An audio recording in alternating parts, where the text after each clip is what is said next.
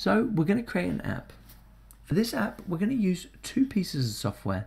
The first one we're going to use for planning and preparing all of the assets, and it's called Microsoft PowerPoint. And the second is Godot, which is where we're going to build the actual application. Godot is very powerful. It can make games, it can make apps, it can make pretty much whatever you want. For this project, we're just going to make a very simple iPhone SE app. So let's start by being organized. Create a folder um, somewhere in your system called First App. Make sure it makes sense. So you make sure you can find it. Um, in order to develop games and develop apps, you do need to be very, very organized. So as you can see here, I've got my first folder called First App. So go ahead now and create that. Inside of my first app, I'm going to keep all my assets in an assets folder. Now let's open up Microsoft PowerPoint. Your Microsoft PowerPoint will look different to mine. I'm on a Mac and the version seems to be really, really old. Um, but you'll have the nice new one with very little problems and the new version of Microsoft PowerPoint works very, very well for this. So the first thing you need to do is change your screen size. As you can see here, I've already set up mine as an iPhone SE. Now let's just stick with the iPhone SE and let's input these screen sizes. That being said, if you do want to change your screen size and you do want to develop something else, there are plenty of resources out there that will allow you to kind of go away and find the um, screen size. So mine here is a height of 568 pixels and 15.8 centimeters. Microsoft PowerPoint does work in centimeters, so when you type in 568px, it will convert it to this measurement, and the same for the width. When you type in 320px, it will convert it to this measurement. If for some reason it doesn't, then you can just enter these centimeter values. So on my particular screen, to change this file size or change the screen size, I have to come to theme and then I come to this slide here that says, or this button here that says page setup slide size. If you are using the new version of Microsoft PowerPoint, you will have something slightly different.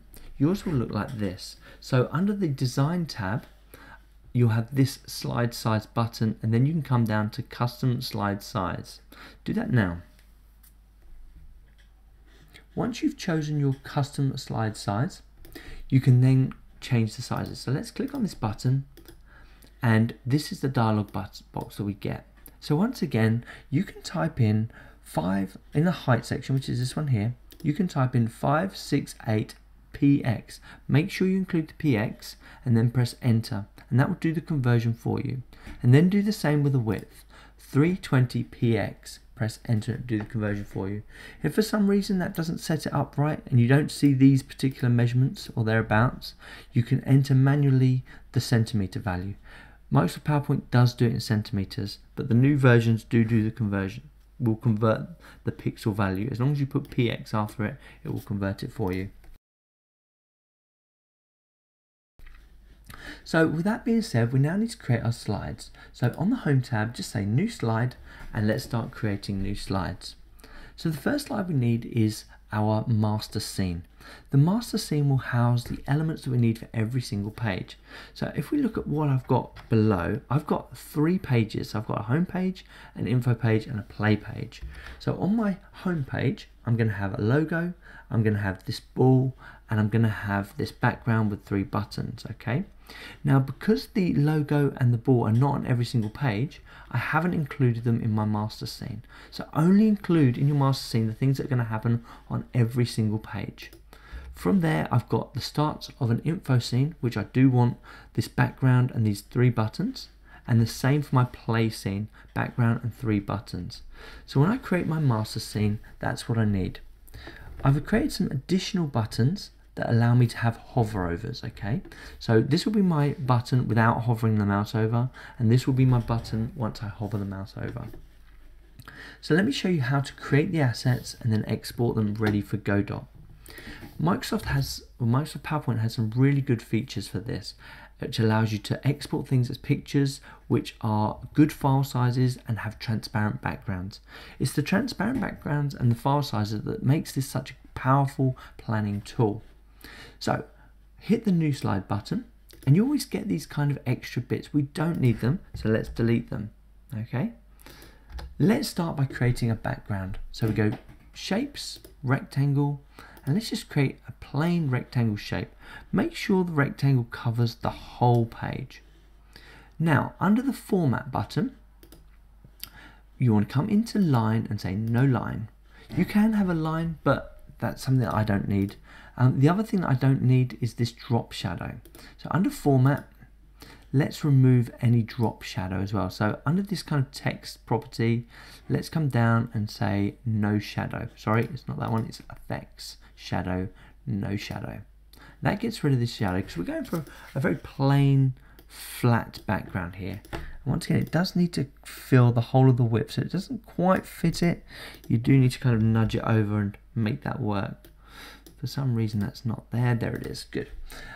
Now the color also needs to be flat. I don't want this gradient. You may want the gradient and that's absolutely fine. So under the format tab, I'm going to go to fill this time. And I'm just going to go for a plain fill color. Let's go for this light blue this time. Okay, it's still got a little bit of a gradient on it and it does want to be a flat one. That's, that's okay. It doesn't look too bad. Now let's add a second rectangle um, so that I don't have to do all that stuff again. Oops. So that I don't have to do all that stuff again, I'm going to press Control C, Control V to duplicate what I've just done, and then I'm going to resize it. So this is going to be my menu. And the menu for this wants to be very, very simple. A contrasting color and let's go for orange. Not the prettiest of colors, and I'm sure you guys can do so much better than that. Nudge it into place using the arrows until it kind of fills the whole scene. Now on the new version of Microsoft PowerPoint, a lot of the um, snapping tools are a lot better than this particular version, so don't worry too much. Now, we want to group it, so select everything that we've just created and right click, group the two elements.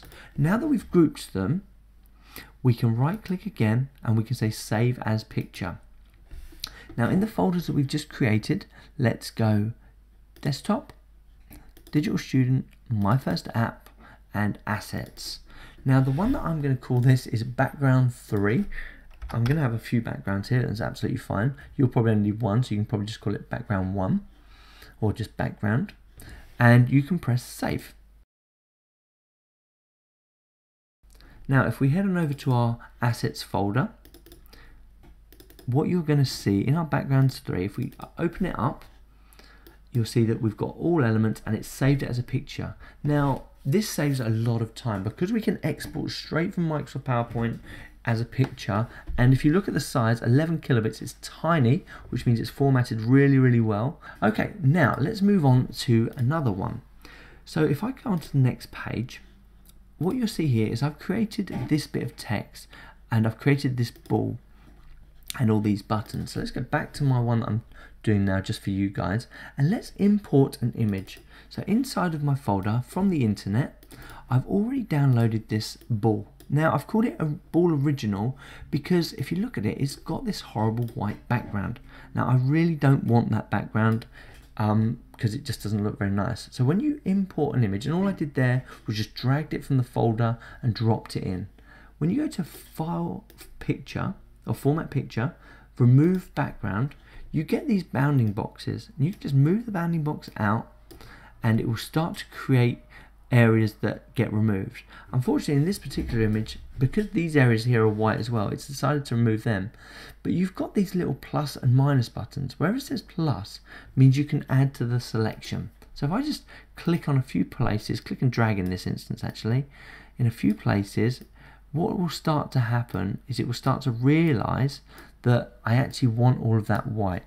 Now, sometimes it's a bit more successful than other times, like that one, and sometimes you have to wait. But when, by the time you click and drag, and you, you can kind of make those selections. Now, if you click off of it, you'll notice that I've got it. If you're not happy with it, because I've obviously got these two dots here, I can double click on it again, and it will go back into, or remove background, go back into it. And now let's just add a bit more of this selection and see if we can't get a bit more of this white stuff happening, just so it looks nice.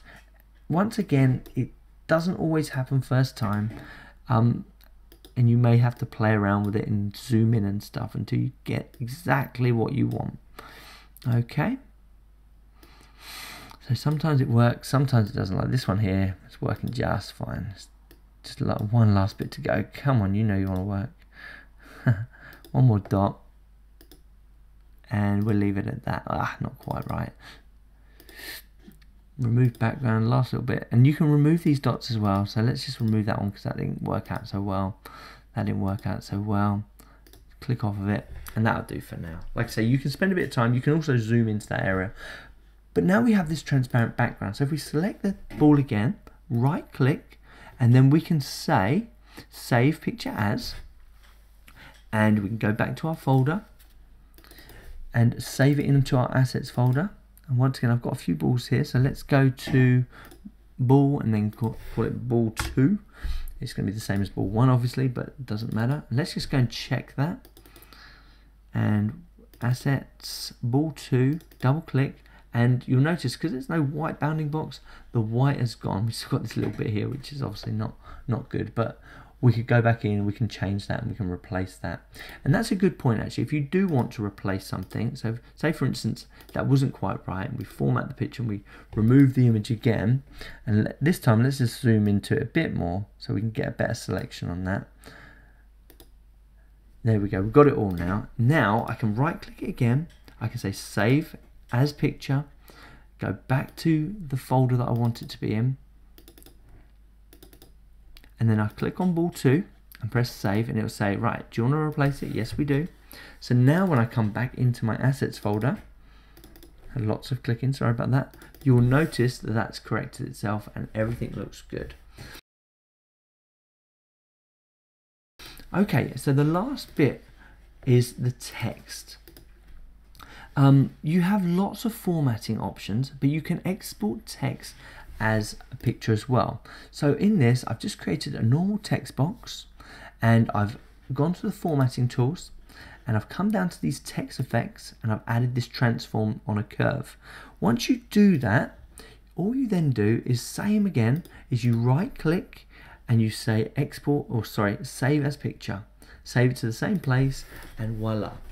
So your mission now is to design, let me zoom out again, design all of your buttons, design your background, design your logos, design your, your, your images and whatever else you need, design your hover buttons, and then in the next lesson I'll show you how to put these into Godot and start creating our app.